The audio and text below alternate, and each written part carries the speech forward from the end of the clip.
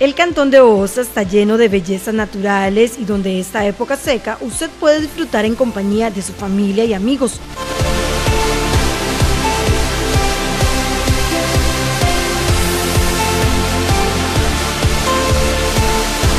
El alcalde Alberto Col de León conoce muy bien los atractivos y motiva a cada uno de ustedes para que dentro de sus planes contemplen esos paradisíacos sitios.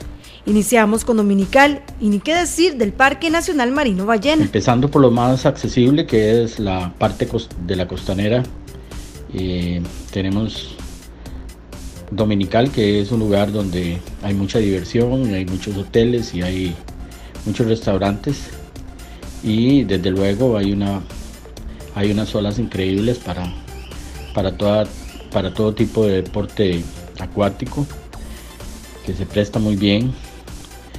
Eh, igual podemos seguir con Playa Dominicalito, eh, igual que Playa Hermosa y desde luego el Parque Nacional en, en Ubitac. Aquí hay muchas playas para escoger. Igualmente eh, tenemos Playa Ballena, Playa Piñuelas, Playa Tortuga y desde luego los manglares del río Terra que son pues algo inolvidable. En la montaña, cerca de, la costa, tenemos muchos hoteles de, montaña con unas grandiosas vistas eh, especiales para, para observar y para meditar y también para pasar ratos eh, inolvidables con, con la familia y amigos. También Sierpe tiene muchos atractivos. Sierpe con su río, que es prácticamente una laguna y que es un lugar digno de, visitar. Sus lanchas rápidas que lo llevan hasta la isla del Caño o hasta la zona de Drake o un tour por, por los manglares, pues es algo que jamás se olvida cuando, cuando uno tiene la oportunidad de visitarlo. Desde luego que ahí se puede, se puede practicar el buceo, el snorkeling igual que también la pesca deportiva.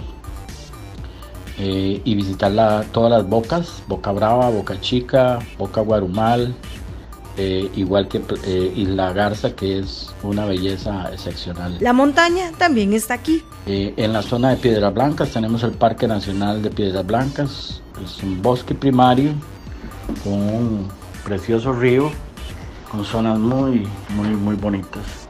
Igualmente ahí tenemos montañas muy cerca que se prestan para, para la visitación y para la observación de aves y la caminata entre la montaña.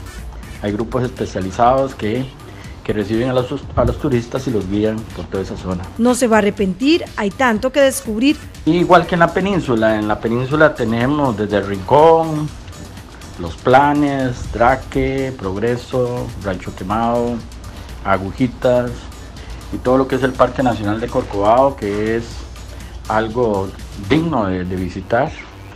y también con exuberante montaña, con mucha vegetación y con muchos mamíferos, anfibios, reptiles y sobre todo aves que se pueden observar durante los recorridos que se hacen por guías especializados.